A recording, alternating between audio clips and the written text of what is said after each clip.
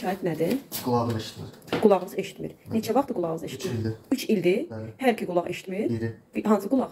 Hı, Sağ. Aha, sağ qulaq. Necə Qan qana. Qan çox Qapqaradır. çirklidir, qapqaradır, çirkab içindədir qan. Bu özü toksiki təsir bədənə, beyinə.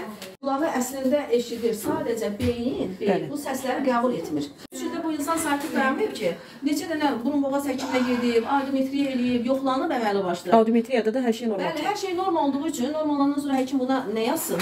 Xəstənin mən özüm yoxladım, az-maz baş gicəllənməsi var, biraz əsəbiliyi var. O da olmalıdır çünki eşitməyəndə adam əsəbləşir. Amma yoxlamada aşkar olundu ki, e, xəstənin qulağı eşidir, beyin o səsləri analiz eləmir, qəbul eləmir. Demək əgər qulaq ağrıyırsa, lor həkim baxsa deyibsə normaldır, audiometriyada normal çıxıbsa, demək bu beyinlə əlaqəli ola bilər. Bəzən başda qulaqda səs olur. Xəstələr gəlir ki, qulağımda səs var, gecə yata bilmirəm. Bəli. Orada da biz ilk öncə deyirik ki, e, burun boğaz həkimi baxsın, yoxlasın, audiometriya eləyirlər. Əgər sinir keçiriciliyində qulaqla əlaqəli bir problem yoxdursa, lor patologiya yoxdursa, əlbəttə biz onda e, nevrolog kimi ki, biz kömək edirik. Şıltı 24 saat var. 24 Şıltı saat var.